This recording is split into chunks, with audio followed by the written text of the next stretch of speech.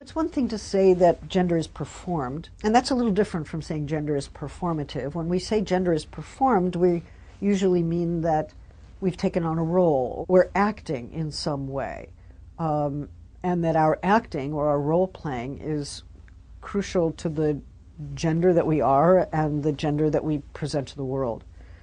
To say that gender is performative is a little different because for something to be performative means that it produces a series of effects. We act and walk and speak and talk in ways that mm, consolidate an impression of being a man or being a woman. You know, I was walking down the street in Berkeley when I first arrived several years ago, and a young woman who was, I think, in high school leaned out of her window and she yelled, Are you a lesbian? And, and she was looking to harass me. Or maybe she was just freaked out, or she thought I looked like I probably was one and wanted to know. But instead, I just turned around and I said, Yes, I am. And that really shocked her.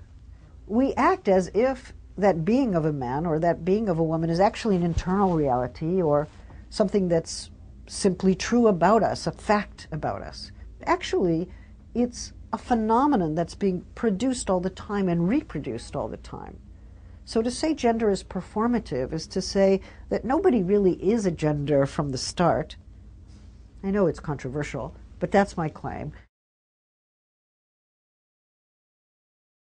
Think about how difficult it is for sissy boys or how difficult it is for tomboys to function socially without being bullied or without being teased or without sometimes suffering threats of violence.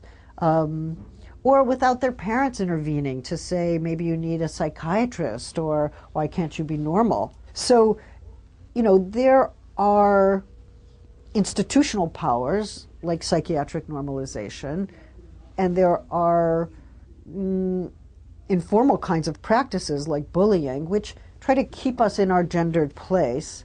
There's a real question for me about how such gender norms get established and policed, and what the best way is to disrupt them and to overcome the police function. It's my view that um, gender is a is is culturally formed but it's also a domain of agency or freedom. It's most important to resist the violence that is imposed by ideal gender norms, especially against those who are gender different, who are non conforming in their in their gender presentation.